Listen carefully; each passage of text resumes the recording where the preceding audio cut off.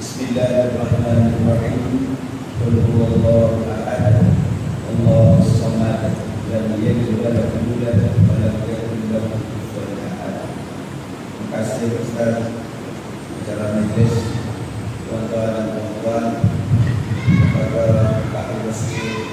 Semua yang dirahmati oleh Allah Subhanahu wa taala. Alhamdulillah Kita bertemu lagi sekali Mudah-mudahan Majlis kita ini dirahmati dan diberkati oleh Allah Subhanahu wa taala. Kalau kita nak mencari keredaan manusia, semua manusia nak kita nak suka pada kita. Jawapannya adalah mustahil. Tak ada orang 100% yang berkenan dengan kita. Ada yang menyapa, ada yang benci, ada yang meluat, ada yang rindu, ada yang benci. Sebab itu dia ada ada lagu dia sebut Sorry, sorry sayangku I miss you Sorry, sorry sayangku I hate you. Dan mesti ada juga Oh beda manusia Mana boleh? Sama mesti Cuba tengok kita punya Pakaian kita Tak sama. Cuba tengok kepada perwatakan pun tak sama. Kalau kita nak memenuhkan keseronokan, keredaan seluruh manusia, mustahil. Saya berceramah, ada orang suka, ada orang yang tak. Yang suka, suka. Yang menyapa, sampah yang tak menyapa. Yang suka, suka. Sebab itu, tidaklah menjadi satu benda kepada kita yang menakutkan kepada kita yang merisaukan kita ialah jika ada orang tak suka dengan kita Rasulullah SAW apa yang tak suka kepada Rasulullah. Tetapi Nabi Muhammad disebut oleh Allah Ta'ala kamu hanya sebagai pembawa utusan. Rasulullah hanya sebagai pembawa risalah. Kalau orang menolak Rasulullah kalau orang benci Rasulullah bukan salah Rasulullah. Orang itu menolak dia. Kerana itu tuan-tuan, kita hanya mencari redha Allah. Sebab redha Allah itu satu. Manusia kalau kita tak cari redha manusia, di Singapura di rakyatnya saja ada 5 juta. Tak tambah dengan orang luar mungkin dah meningkat 6 juta. Malaysia 30 juta. Tambah dengan warga Bangla, warga Kosmo, 36 juta. Kalau kita nak bagi semua 36 juta orang rakyat suka pada kita seorang, mustahil dan susah. Susah. Tak senang tuan-tuan nak ceramah ni nak bagi orang suka. Kadang-kadang kita serius. Serius. Kenapa kita mengaji bahawa Nabi Muhammad Wasallam ada orang suka bagus Ustaz serius. Ada yang bila nak bila ngantuk gila bila kita berkuliah dalam bentuk santai-santai. Tiga-tiga Ustaz ni malah ada yang suka aku berkenaan betul Ustaz. Tak keren usia aku saya tahu je. Ada orang yang menyapa. Ustaz ini malah di mana yang kita nak cari sekolah tak. Sebab itu saya katakan tadi, kita hanya mencari suka Allah. Sebab Allah pun satu. Bila kita mencari redha Allah, mencari suka Allah senang. Orang benci ke, orang menyampah ke, orang suka ke, dia akan janji Allah suka. Tetapi kalau seluruh manusia suka, tetapi Allah yang satu tidak suka, itu tidak mahu. Walaupun seluruh manusia sayang dengan dia. Tetapi Allah tidak suka kepada dia. Berbahaya. Tetapi kalau manusia semuanya tidak suka. Tetapi Allah suka kepadanya. Sangat bahagia. Kerana apa? Kerana kita mengharapkan kepada Allah Ta'ala. Saya cakap pada tuan-tuan tadi saya sebagai penceramah. Nak tarik orang supaya suka kepada saya semuanya adalah mustahil. Mustahil. Saya dapat surat bukan surat cinta, surat layak pun banyak.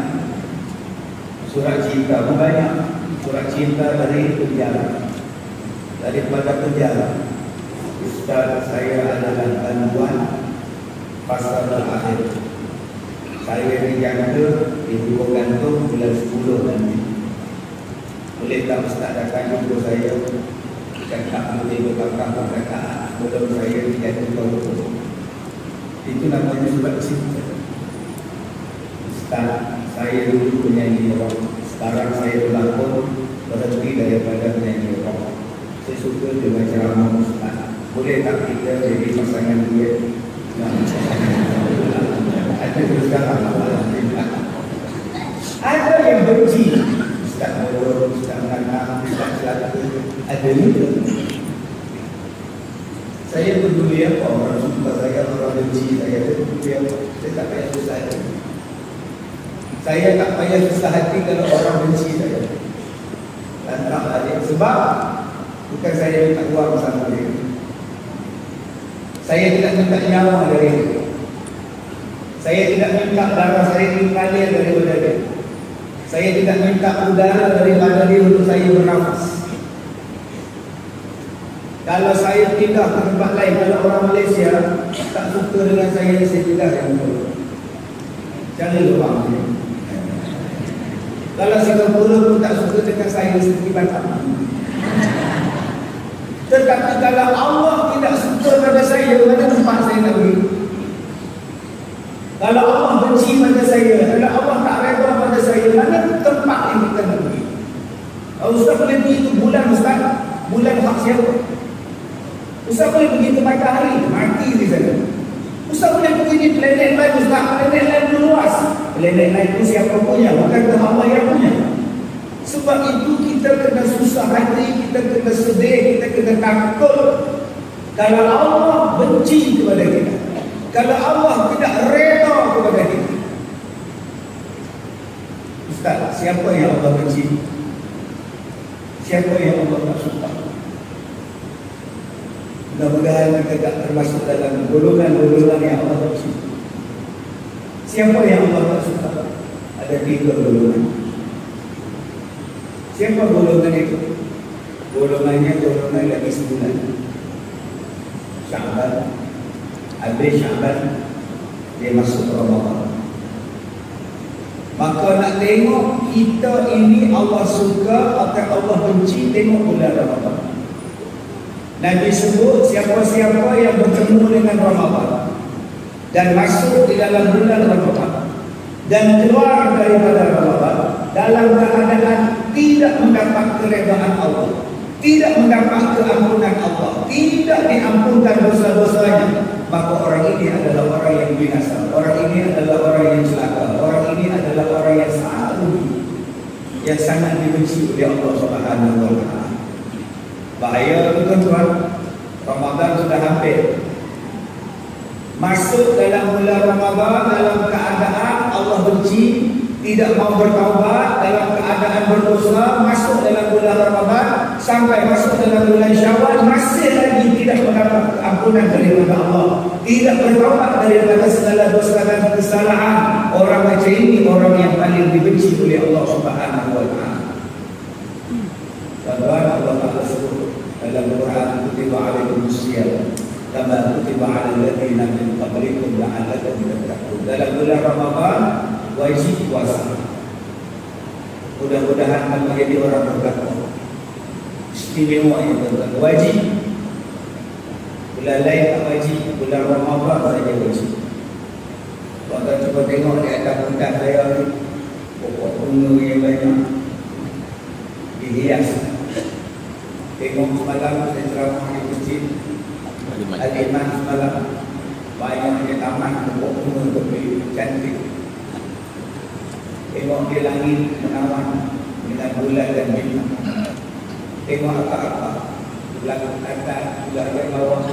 Jadi cantik Tak kedudung Ya Ada kedudung kuning Ada kedudung Barila Jalan-jalan semua Abang-abang Sekarang cantik lah saya di Sombong ni baru beli kepada sebanyak Dicari kat kedai dia.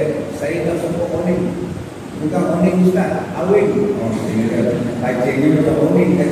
Itu lah jadi Ustaz. Tak nampak tuan Awing jadi oning Baru tu pasal oning tu yang dekat rumah. Tuan-tuan, ini perhiasan Yang abang-abang pakai sekarang ini Uzuzi dan takut ini Ialah perhiasan perhiasan bumi, perhiasan darat, perhiasan langit, perhiasan-perhiasan. Ramadan adalah perhiasan kepada 12 bulan. Dalam bulan ini Allah Ta'ala kata apa kepada kita wajib berpuasa. Dalam bulan ini Allah Ta'ala sebut syahrul Ramadan.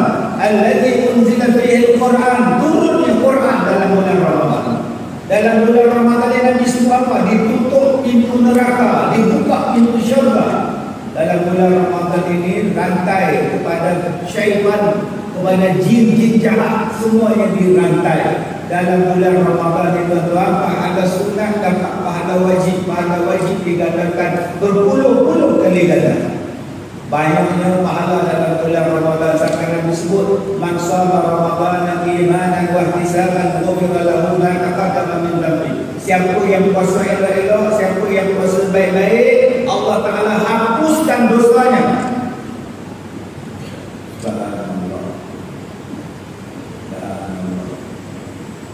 Saya tadi pagi tak semayang subuh tak tahu nak buat apa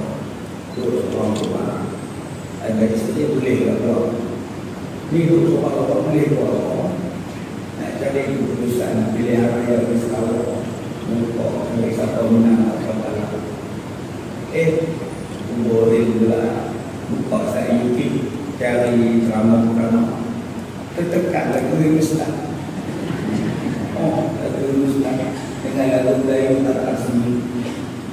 Hitam manis, hitam manis. Yang hitam manis, tanda tak jemur, tanda tak jemur. Pokoknya itu lagu ini Ustaz. Jadi yang jauh dia jauh jauh lulus tak rompak masih tak. Bila saya tengok oh tak lulus tak rompak tuan-tuan saya nak sebut pada tuan-tuan keadaan kita.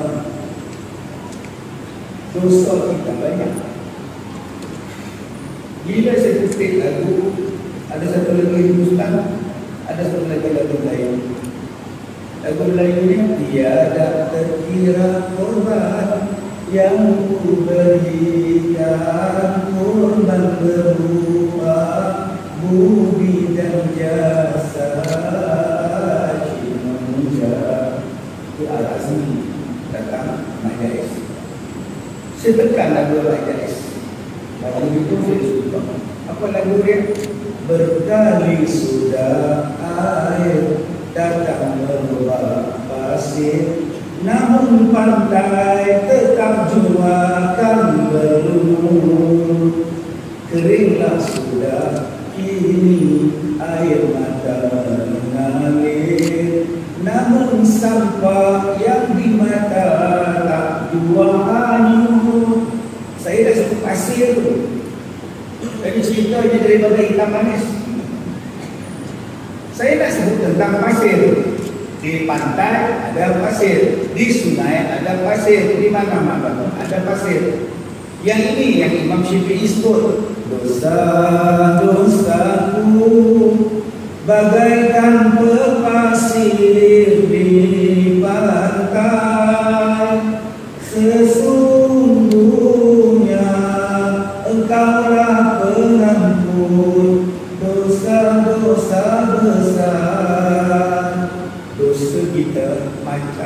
pasir di pantai Punya banyak dosa kita